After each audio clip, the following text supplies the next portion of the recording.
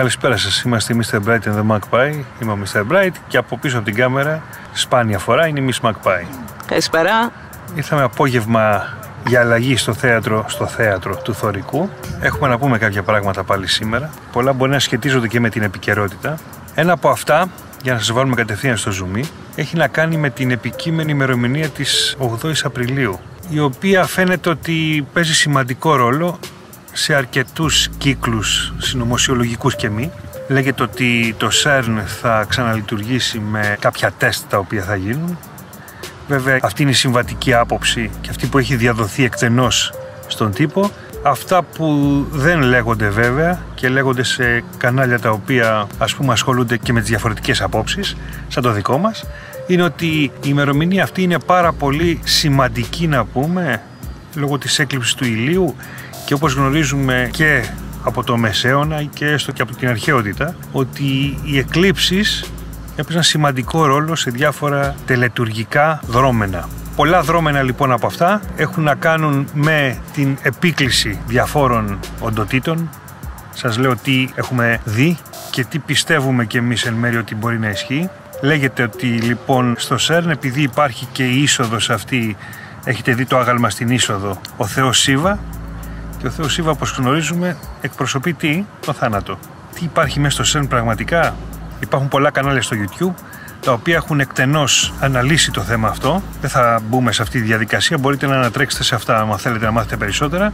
Εμείς αυτό που έχουμε να πούμε είναι ότι η 8η Απριλίου, ό,τι και να γίνει, θέλουμε να πιστεύουμε, είτε καλό είτε κακό, μάλλον το δεύτερο, δεν θα γίνει φανερό σε εμάς παρά μετά από καιρό. Όπως γίνονται στα περισσότερα πράγματα βέβαια. Είχαμε κάνει ένα σχετικό επεισόδιο πάλι εδώ πέρυσι σχετικά με την τραγωδία των Τεμπών. Εντάξει, έχουν κυκλοφορήσει στο διαδίκτυο και στις ειδήσεις άπειρες αναφορές πλέον έτσι, και με την γνωστή κυρία η οποία πήγε στην Ευρώπη για να ζητήσει δικαιοσύνη για το αποτρόπαιο αυτό έγκλημα το οποίο συνέβη πέρυσι. Το επεισόδιο το έχουμε γυρίσει πέρσι όπως είπαμε. Ανατρέξτε εδώ για να το δείτε. Δεν θα πούμε άλλες λεπτομέρειες σχετικά με αυτό. Εγώ θα μείνω σε ένα πράγμα μόνο πώς μετά από ένα χρόνο βγήκε το θέμα ξανά στην επικαιρότητα, ενώ για ένα χρόνο είχε σχεδόν ξεχαστεί. Δεν μιλάμε για τους παθόντες τώρα, έτσι. Μιλάμε για γενικά την κοινή γνώμη. Ξαφνικά μετά από ένα χρόνο ξαναβγήκε στην επιφάνεια και γίνεται πάλι χαμός.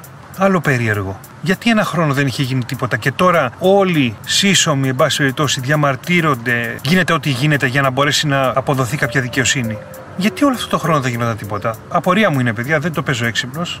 Και στο κανάλι μας στο Telegram έχουμε αναρτήσει πολλά βίντεος και εμείς αλλά και συνδρομητές του καναλιού σχετικά με τους αεροψεκασμούς οι οποίοι έχουν ξεφύγει εντελώς ειδικά τις τελευταίες δύο εβδομάδες.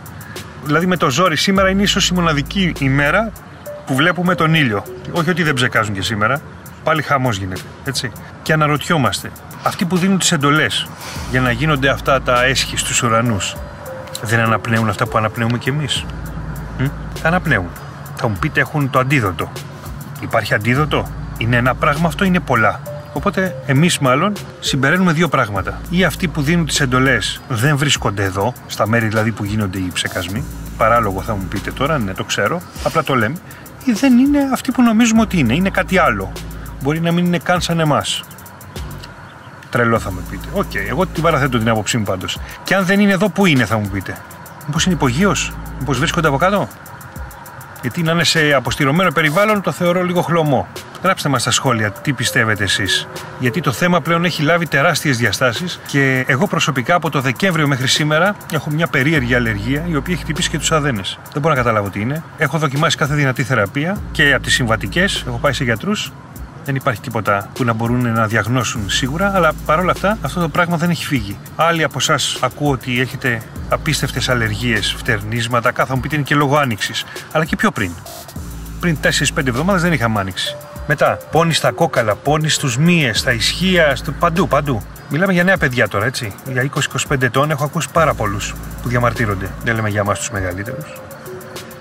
Πέρυσι τέτοια εποχή περίπου, ίσως και λίγο πιο πριν, ετοιμαζόμασταν πάλι για κάτι, όπως και φέτος. Φέτος φαίνεται να είναι πιο κοντά αυτό το κάτι, αυτό που είπαμε, ότι θα γίνει χαμός με τα χρηματιστήρια, με τους πολέμους οι οποίοι μένονται ακόμα, δύο πόλεμοι, ο ένας είναι πάνω από δύο χρόνια και συνεχίζει σιγά σιγά σιγά σιγά και φαίνεται ότι φτάνει κάπου.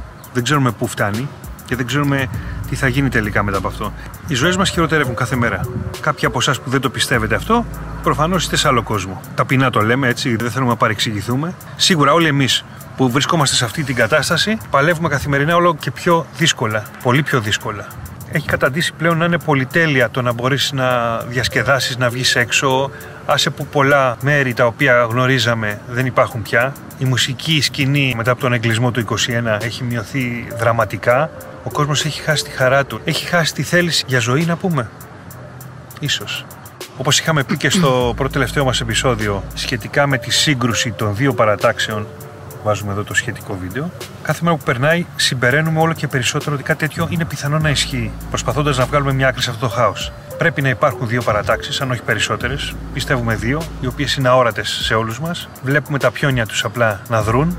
Βλέπουμε μια παράταξη η οποία ήταν τόσα χρόνια και είναι ακόμα και εφαρμόζει κατά γράμμα όλο αυτό το σκοτεινό σχέδιο που μας έχει φέρει στο σήμερα. Και αυτό βέβαια έχει να κάνει και με τα δηλητήρια τα οποία μας ταΐζουν, μας ποτίζουν, έτσι αναπνέουμε, και υπάρχει και άλλη παράταξη η οποία πολεμά πίσω από τις κουρτίνες και αυτή, όπως είπαμε και στην ιστορία. Και φαίνεται ότι η παράταξη αυτή δεν είναι ορατή, τουλάχιστον στα δικά μας μάτια στο να μπορεί να αλλάξει κάτι στη ζωή μας. Γιατί όλα αλλάζουν προς το χειρότερο.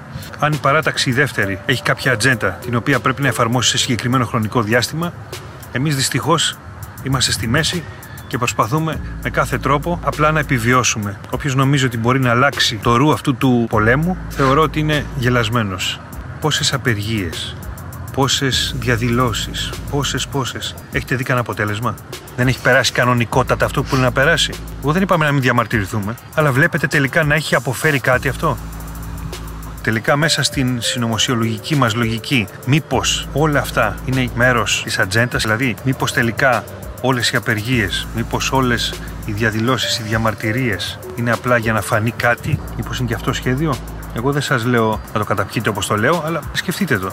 Τελικά ζούμε ένα θέατρο. Ζούμε μια ταινία όπως έχουμε πει 100.000 φορές.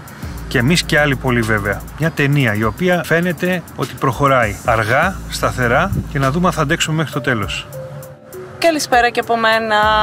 Η ταπεινή σας Καρακάξα είναι εδώ πάλι στο θέατρο του Θωρικού το οποίο, by the way, βλέπετε πως είναι, έχει γεμίσει όλο χορτάρια προφανώς κανείς δεν νοιάζεται. Είδαμε και πιο πριν μια ορδή από τουρίστες οι οποίοι ήρθαν εδώ κάθονταν, κοίταζαν έτσι ψαχαζί, τώρα τι κατάλαβαν δεν ξέρω και απλά φύγανε. Άφησαν και κάτι σκουπίδια από εδώ και από εκεί. Το θέατρο το βλέπετε κάθε φορά που ερχόμαστε εδώ όλο και κάτι καινούριο ανακαλύπτουμε. Πέρα από τα σκουπίδια που αφήνουν, αυτή τη φορά έτσι όπως το είδαμε μας έδωσε την εντύπωση ότι σίγουρα πρόκειται περί καινούριε κατασκευής. Δείτε πώς είναι οι πλάκες τοποθετημένες. Δηλαδή φαίνεται ότι είναι τοποθετημένες πρόσφατα. Λες και κάτι θέλουν να κρύψουν, λες και κάτι θέλουν να αλλάξουν εδώ από την ε, πρωταρχική ας πούμε μορφή που είχε αυτό εδώ το κατασκεύασμα. Εγώ προσωπικά πιστεύω ότι πρόκειται περί τεραστίων διαστάσεων θολωτός τάφος, όχι στρογγυλός σαν τους παραδοσιακούς, αλλά οβάλ. Και αν θυμόσαστε, επάνω στην κορυφή που έχουμε πάει, που είναι ο λόφος Βελατούρη, υπάρχει οβάλ τάφος θολωτός. Όπου, εάν θυμόσαστε που είχαμε πάει και με τον Τζακ και τη Ρέινα, κάτι βρήκαμε ότι πρόκειται μάλλον περί Ασσύριων, Μεσοποτάμοι πολιτισμοί που ίσως χτίσαν αυτούς τους τάφους, παύλα, ναούς, παύλα, δεν ξέρουμε τι μπορεί να είναι. Διότι λίγο πιο κάτω υπάρχει θολωτός τάφος στρογγυλός, οι υπόλοιποι προς τα εκεί είναι στρογγυλοί. Όλοι όσοι έχουμε δει όπως του Ατρέα, των Δαιμόνων κτλ. είναι στρογγυλοί. Τα μόνα κατασκευάσματα οβάλ είναι αυτό το θέατρο και καλά, αν και εφόσον είναι θέατρο και δεν είναι θυσιαστήριο, τελεστήριο, θολωτό τάφος, τι, όλα τα άλλα είναι στρόγγυλα. Επίσης ακριβώς δίπλα υπήρχε κάτι σαν σπήλαιο, δεν ξέρω πόσο μέσα πήγαινε, διότι εγώ το θυμάμαι από πιο μικρή που έμενε εδώ, ήταν ανοιχτό και μπορούσες να μπεις, ρε παιδί μου, μέχρι ένα σημείο. Δεν γνωρίζω βέβαια πόσο βαθύ μπορεί να είναι. Τώρα δυστυχώς το έχουν μπαζώσει εν μέρη και έχουν βάλει και κάγκελα προστατευτικά. Ποιος ξέρει. Ίσως είναι επικίνδυνο, ίσως δεν θέλει κάποιος να δει τι υπάρχει μέσα, ίσως να χρησιμοποιείται ακόμη και σήμερα. Βέβαια, αν το παρατηρήσει κανείς, μοιάζει και αυτό πάλι με είσοδο θολωτού τάφου. Τι να πω. Μπορεί. Μπορεί και όχι. Ποιος ξέρει. Γράψτε μου όπως πάντοτε στα σχόλια την άποψή σας. Καταρχάς κοιτάξτε τις πέτρες. Τώρα που είναι μέρα ας πούμε και μπορούμε και τις ε, παρατηρούμε καλύτερα. Είναι όλες λαξευμένες, λες και πήραν απλά πέτρωμα εδώ της περιοχής γιατί φαίνεται ότι είναι της περιοχής το πέτρωμα και το έχουν λαξεύσει τώρα, πρόσφατα. Εγώ δεν βλέπω ίχνος αρχαίας πέτρας. Αυτή είναι η γνώμη μου, έτσι. Ας αφήσουμε ότι οι περισσότερες από αυτές έχουν μια συγκολητική ουσία που είναι τσιμέντο. Φαίνεται. Και ανάμεσα και πιο μικρές πετρούλες και αυτά. Από ό,τι δηλαδή φαίνεται ότι προσπαθούσαν να αναστηλώσουν εδώ, να το φτιάξουν σαν θέατρο ή να μοιάζει με κάτι. Ελλειψοειδές θέατρο. Βγάζει νόημα. Δεν ξέρω. Αυτή είναι η ταπεινή μου άποψη. Δεν χρειάζεται να το ενστερνιστείτε. Ό,τι θέλετε πιστεύετε. Αλλά μία βόλτα από εδώ να έρθετε να το επισκεφθείτε, ίσως σας αλλάξει τη γνώμη. Τώρα, επειδή μας στέλνετε πάρα πολλά μηνύματα και στο Instagram μας και στο Facebook μας και στο Telegram και αυτά χίλια συγγνώμη εάν δεν σας τα απαντάμε όλα. Έρχονται βροχιδών, δεν προλαβαίνουμε είμαστε δύο άτομα που τα χειριζόμαστε λίγο υπομονούλα και θα τα απαντήσουμε όλα. Δεν είναι ότι δεν τα βλέπουμε, τα βλέπουμε απλά δεν προλαβαίνουμε να τα απαντήσουμε κατευθείαν όλα. Α αφήσουμε που κάποια σχόλια που μας λέτε ότι σας τα διαγράφουμε, δεν τα διαγράφουμε εμείς, απλά δεν εμφανίζονται στο YouTube για κάποιο λόγο. Ίσως τα πιάνει ο αλγόριθμος, η μηχανή του YouTube, τα θεωρεί σαν spams, δεν ξέρω. Πάντως δεν τα λαμβάνουμε, δεν σβήνουμε τίποτε, αυτό είναι σίγουρο. Μια που λέμε τώρα για αυτά που μας στέλνετε, Μας έχετε στείλει επανειλημμένα και στο Telegram και στο Instagram και στο προσωπικό μου το προφίλ στο Facebook ένα βιντεάκι το οποίο έχει γίνει ψηλό viral.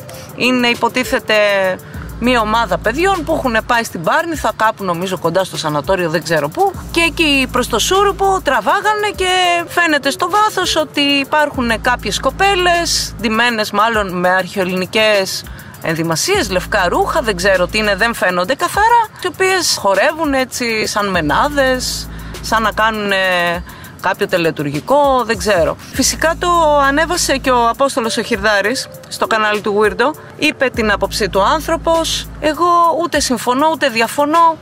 Πολλοί μας λέτε τι είναι αυτό, αν είναι καλό, αν είναι κακό. Κοιτάξτε, εφόσον δεν ήμασταν εκεί να το δούμε κι εμείς με τα μάτια μας, να το νιώσουμε, να ακούσουμε, να καταλάβουμε περί τίνος πρόκειται. Από πού και ως πού εγώ να εκφέρω γνώμη. Δεν γνωρίζω. Για το συγκεκριμένο έστω. Προφανώς κάποιες κοπέλες, ίσως από κάποια θρησκευτική ομάδα, ίσως απλά γυρίζανε κάποιο βιντεοκλίπ, γιατί έχουμε πετύχει κι εμείς πολλές φορές σε τέτοια μέρη να γυρίζουν βιντεοκλίπ, ξέρετε, τύπου metal και αυτά. Διάφορα έχουμε πετύχει έτσι. Και εμείς εδώ έχουμε τραβήξει βιντεοκλίπ. Δεν είναι κάτι δηλαδή περίεργο. Μπορεί απλά να ήταν κοπέλες οι οποίες μαζεύτηκαν και θέλουν να κάνουν αυτό. Δεν πάει να πει ότι είναι αναγκαστικά κάτι θρησκευτικό ή δεν είναι ή είναι κάτι κακό ή κάτι καλό. Άγνωστο τι μπορεί να είναι. Εάν λάβουμε την περίπτωση ότι είναι όντως κάτι τελετουργικό, ναι, ίσως είναι κάτι από αυτά που βρίσκουμε κι εμείς. Πόσες φορές έχουμε βρει υπολείμματα από τελετές, πράγματα που καίνε κτλ. Ποιος ξέρει, μπορεί. Βέβαια, δεν μπορούμε να γνωρίζουμε αν είναι κάτι λευκό, καταλαβαίνετε τι εννοώ, ή μαύρο. Όλα αυτά να ξέρετε ποικίλουν και η προσωπική μου άποψη επάνω σε αυτό είναι ότι εφόσον κάποιος θέλει να κάνει κάτι σκοτεινό ή κάτι μαύρο, προφανώς δεν θα το κάνει σε κοινή θέα. Θα μου πείτε είναι βράδυ, είναι σούροπο, είναι σε ένα μέρος ας πούμε απόμερο. Φυσικά όπως έχουμε ξαναπεί δεν είναι και όλες οι τελετές ίδιες. Υπάρχουν ναι, λευκές, υπάρχουν μαύρες, υπάρχουν ας πούμε οι θεότητες, οι χθόνιες ή οι μαύρες ή οι κακοδαίμονες ή δεν ξέρω και εγώ τι που μπορεί κάποιος να επικαλεστεί. Ο άλλος μπορεί να είναι ας πούμε σκοτεινός και να επικαλείται κακοδαίμονες ή δαίμονες, πείτε το όπως θέλετε και να ζητάει πράγματα από αυτά, δηλαδή πράγματα αρνητικά, υπάρχει φυσικά και η άλλη όψη των θεοτήτων, η λευκή όπου μπορεί κάποιος να κάνει κάποια τελετή, προφανώς όχι σκοτεινή, και να ζητήσει κάποια καλά πράγματα, είτε για τον εαυτό του είτε για τους αγαπημένους του. Δεν είναι όλα ένα πράγμα. Έτσι πρέπει να το καταλάβουμε αυτό, ότι υπάρχει και το μαύρο, υπάρχει και το λευκό. Έχει δύο όψεις το νόμισμα. Και στην αρχαιότητα φυσικά. Εδώ σου έλεγε ότι υπάρχει ο λευκός Απόλλωνας, ο μαύρος Απόλλωνας, του οποίου ήταν ουσιαστικά η ίδια μορφή, αλλά ήταν μία όψη ή άλλη όψη. Οπότε ο κάθε μύστης, ο κάθε μάγος και στην αρχαιότητα μπορούσε να επικαλεστεί την μαύρη πλευρά ή την λευκή πλευρά αναλόγως τι εργασία ήθελε να κάνει, τι ακριβώς ζητούσε. Βέβαια όλα αυτά δεν είναι πράγματα που μπορεί να κάνει προφανώς ο καθένας. Έτσι δεν είναι ότι παίρνω ένα μπαστούνάκι με λευκό φασκόμινο και κάνω χου, χου, χου, χου, χου και καπνίζω το χώρο και μου έρχονται πράγματα και συμβαίνουν έτσι διάφορα. Δεν το συζητάω. Προφανώς μην κάνετε τέτοια πράγματα εφόσον δεν γνωρίζετε. Μην ασχολείστε με μαγικές εργασίες ή με άλλου είδους τελετουργικά χωρίς να έχετε την απαραίτητη γνώση. Μπορεί να υπάρξει δηλαδή και κάποιο αντίτιμο σε όλα αυτά. Είναι συνήθως επικίνδυνα. Άλλο ένα θεματάκι που έθιξε και ο Mr. Bright πιο πριν, σε ό,τι αφορά στο δυστύχημα των τεμπών. Τέλος πάντων, μου έστειλε μια κοπέλα, μια συνδρομήτρια, κάτι πάρα πολύ ενδιαφέρον. Μου στείλε μια φωτογραφία από μια φύσα του έλευσης 2023 Ξέρετε, που η Ελευσίνα είχε γίνει πολιτιστική πρωτεύουσα της Ευρώπης για το 2023 και ξέρετε, είχε γίνει και η παράξενη αυτή η τελετή έναρξης και διάφορα έτσι περίεργα δρόμενα εκεί στον χώρο της Ελευσίνας και μέσα στα αρχαία. Σας βάζουμε εδώ το βίντεο να δείτε που είχαμε κάνει για το συγκεκριμένο θέμα. Κοιτάξτε τώρα, θα σας βάλω την εικόνα αυτή από την αφίσα του Έλευσης 2023 και ακριβώς δίπλα την φωτογραφία, την κλασική, την έχετε δει όλοι όπου φαίνονται οι αμαξοστοιχίες μετά την σύγκρουση όπως έχουν δηλαδή καταλήξει. Βλέπετε κάποια ομοιότητα; Και να πούμε ότι η αφίσα αυτή είχε φτιαχτεί πολύ πιο πριν συμβεί το ατύχημα στα Τέμπη. Μήπως είναι τυχαίο; Φυσικά, εφόσον δεν ήμασταν εκεί, δεν μπορούμε να γνωρίζουμε περισσότερα. Αλλά κοιτάξτε όμως την ομοιότητα. Πόσο κοντά είναι το ένα με το άλλο. Δεν είναι ανατριχιαστικά απίστευτο. Ειλικρινά, εγώ όσες φορές το βλέπω, νιώθω ότι παγώνω μέσα μου. Δεν ξέρω. Πολύ παράξενα πράγματα. Άλλο ένα πραγματάκι έτσι που νομίζω μας αφορά όλους μια που είπε ο Mr. Bright για τις 8 του μηνός υποτίθεται θα γίνει αυτό με το CERN ότι κάτι θα ανοίξουν μια πύλη και αυτά σε συνδυασμό φυσικά και με την έκλειψη του ηλίου και επειδή γενικά είμαστε σε μια περίοδο που γίνονται πολλές εκλήψεις είχε γίνει και η έκλειψη της Ελλήνης εάν θυμόσαστε καμιά εβδομάδα plus πιο πριν ένα συνδρομητής μου έστειλε πάλι ένα πολύ ενδιαφέρον βιντεάκι. Είναι ουσιαστικά ένας τύπος που κάνει session με Spirit Box. Spirit Box λίγο πιο επιστημονικό, το έχει συνδέσει με υπολογιστή, δηλαδή είναι ψηφιακό. Εγώ προσωπικά η άποψή μου είναι ότι όσο πιο πολύ επεξεργασμένο είναι κάτι, χάνει την αυθεντικότητά του και δεν μπορεί να σου δώσει ακριβή αποτελέσματα κάτι που είναι συνδεδεμένο με ψηφιακή τεχνολογία, με υπολογιστή. Δηλαδή είναι πολύ εύκολο να το κάνεις fake. Μπορείς δηλαδή απλά να έχεις προεχογραφημένα μηνυματάκια από πριν, να ξέρεις δηλαδή τι ερωτήσεις θα κάνεις και να υποτίθεται απαντάει συγκεκριμένα πράγματα που το έχεις ρυθμίσει εσύ να πει. Σε αντίθεση με το Speedbox, το οποίο είναι ουσιαστικά ένα απλό ραδιόφωνο αναλογικό που το χειριζόμαστε με τα χέρια μας. Για όσους το πιστεύουν φυσικά. Τώρα, σε αυτό το Spirit Box, το session που έκανε ο άνθρωπος, υποτίθεται ότι μίλαγε με κάποια συγκεκριμένα πνεύματα, τα οποία έχει μια σχέση μαζί τους και είναι κάτι σαν guides, είναι κάτι σαν οδηγή του, ας πούμε, πνευματική. Προφανώς όχι από τον χώρο των ζωντανών, του έδωσαν το εξής μήνυμα ότι κάτι θα συμβεί τώρα κοντά και πιο συγκεκριμένα ότι αρκετά πλέον κάτι θα συμβεί, θα έρθει και καλά βοήθεια και ότι θα σχιστούν οι ουρανοί και κάτι θα βγει από τους ουρανούς. Εμένα αυτό κατευθείαν με παραπέμπει σε όλη αυτή την ιστορία με το ΣΕΡΝ ότι υποτίθεται στις 8 του Απρίλη θα ανοίξουν κάποια πύλη και θα περάσει κάτι από μέσα. Κάτι έλεγε και ο κύριος Βάμπ ότι περιμένουν έναν μεσία ότι θα εμφανιστεί, δεν ξέρω. Τώρα βέβαια δεν μπορούμε να γνωρίζουμε γιατί εδώ βλέπετε ότι γίνεται ο κακός χαμός στους ουρανούς. Είδατε και εκείνο το short που είχαμε ανεβάσει με τα περίεργα φώτα έτσι το βράδυ που φαίνονταν. Μπορείς τώρα να πιστέψεις, μπορεί να είναι blue beam, μπορεί να είναι προβολής, μπορεί να είναι το οτιδήποτε. Πλέον μπορεί να δεις και έναν δεινόσαυρο να πετάει στον ουρανό και να μην ξέρεις τι είναι. Σας βάζω ωστόσο και ένα πολύ παράξενο έτσι πάλι βιντεάκι που μας έστειλε ένας συνδρομητής. Πάλι με ένα περίεργο φαινόμενο στον ουρανό. Αυτό το έχουν γυρίσει στην Εθνική Οδό. Είναι νύχτα όπως βλέπετε. Έχουν κολλήσει άνθρωποι, το κοιτάνε, το δείχνουνε Κοιτάξτε πώς είναι τώρα αυτό το σαν δέσμη φωτό, σαν κάτι μακρόστενο το οποίο δυναμώνει, εμφανίζεται, εξαφανίζεται, γίνεται πιο πλατή. Δεν ξέρουμε τώρα τι μπορεί να είναι. Ίσως είναι η μπλε ακτίνα, ίσως είναι κάτι άλλο, ίσως είναι εξωγήινη. Γράφτε μας την άποψη στα σχόλια. Τώρα, μια που ανέφερε και την ε, έκλειψη που θα γίνει στις 8 του ηλίου, όπως σας είπα και πιο πριν έχει γίνει και έκλειψη σελήνης. Και αυτή είναι μια πολύ σημαντική έκλειψη και νομίζω πρέπει να το βιώνετε και όλοι στο πετσί σας πάνω από δύο ή τρεις εβδομάδες και εγώ νιώθω πάρα πολύ φορτισμένη. Νιώθω ότι φτάνει πλέον με όλα, ότι θέλω να κάνω ένα καινούριο ξεκίνημα, ότι θέλω να πετάξω, να αφήσω πίσω μου ό,τι με βαραίνει. Όλα αυτά να ξέρετε ότι έχουν σχέση με αυτήν την έκλειψη. Καταρχάς υπάρχει ένα περίεργο τρίγωνο με τον Πλούτονα, ο οποίος είναι κυρίαρχος σε αυτήν την έκλειψη και επηρεάζει πάρα πολύ τα ζώδια που είναι το ένα αντικριστά με το άλλο. Δηλαδή, τους ζυγούς με τους κρυούς, είμαι ζυγός, το έχω νιώσει full, full ενεργειακά και κάποιοι κρύοι που ξέρω το ζουνε κανονικά.